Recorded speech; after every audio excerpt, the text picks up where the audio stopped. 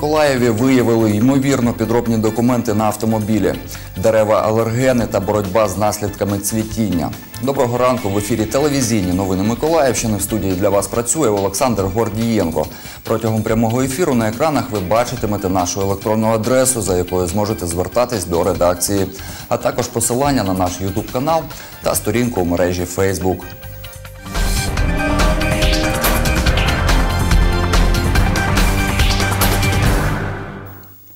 Протягом доби миколаївські патрульні, зупиняючи водіїв автівок за порушення правил дорожнього руху, виявили п'ять фактів ймовірної підробки реєстраційних документів.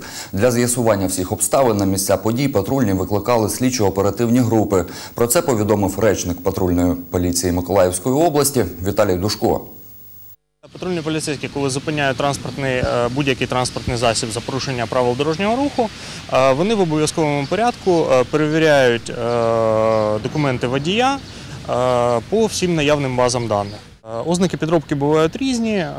Найчастіше це невідповідність номеру кузова свідоцтві про реєстрацію та наявного на транспортному засобу.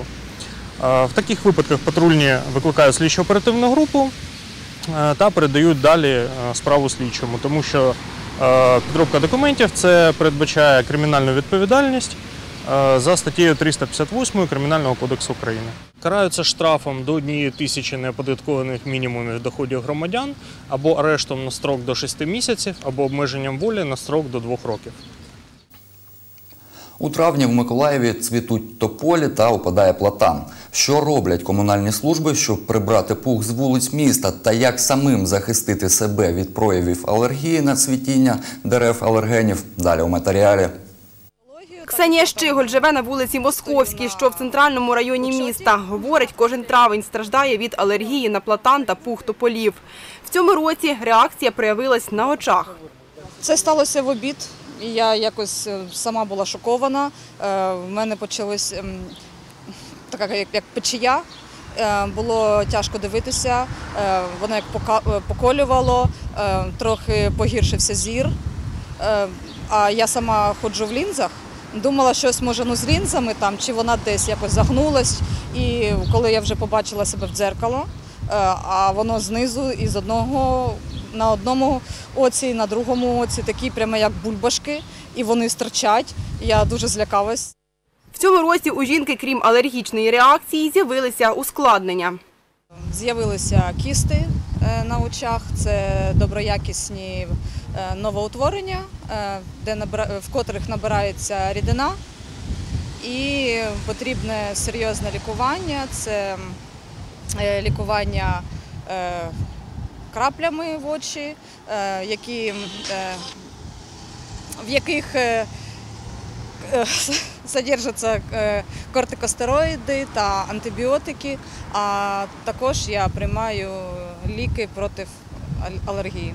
Алерголог Анна Моначин радить уникати контакту з алергенами. Якщо це неможливо, робити наступне. І якщо ви знаходились в контакті з цією рослиною, то треба після контакту е, зняти той одяг, який був на вас, тому що на цьому одязі, е, одязі знаходиться е, пильця цієї рослини, промити слизові оболонки ока, носа. Е, Рота для того, щоб, щоб змити цей алерген, е, прийняти душ, е, випити антигістамінний препарат. І якщо прояви алергени не алергії не уходять, треба йти до лікаря. Анна Моначин говорить, кількість людей, що скаржаться на алергію, з кожним роком збільшується. У 2018-му відносно попереднього року відсоток алергіків серед дітей зріс на 2, серед дорослих – не менше. Речниця департаменту житлово-комунального господарства Лариса Зайцева говорить, близько 50% дерев у місті – це платани та тополі. Замінити їх неможливо. одночасно е, знести всі дерева, це залишити місто з екологічною кат- майже на грані екологічної катастрофи, бо по кількості е, кисеню, який вони виділяють і е, затримують е, е, шкідливі е, викиди е, від е, автомобілів, вони, мабуть, займають одне з перших місць. До того ж, період такого цвітіння це ну, тиждень-два, не більше. І заради цього зносити таку кількість зелених насаджень ну, поки немає сенсу. На керівників адміністрації районів міста покладено функцію контролю. В Миколаєві вологих прибирань в період цвітіння дерев алергенів має бути більше, говорить речниця департаменту житлово-комунального господарства Лариса Зайцева.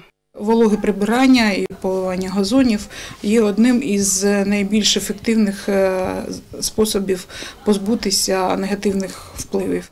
Ксенія Щиголь живе у центральному районі міста, тому ми звернулися до керівництва цього району, аби дізнатись, чи збільшено кількість прибирань на вулицях. Ольга Радиченко, прес-секретарка адміністрації центрального району, у телефонній розмові пояснила, що вся інформація є на офіційній сторінці адміністрації у Фейсбук. А спілкуватися із журналістами Суспільного голова адміністрації Олександр Береза не буде. Вікторія Андрушків, Олександр Попов, Ігор Чорний. Телевізійні новини Миколаївщини. І поки це все, наступний випуск новин дивіться о 8 Далі продовжується прямий ефір програми Новий день. Не перемикайтесь.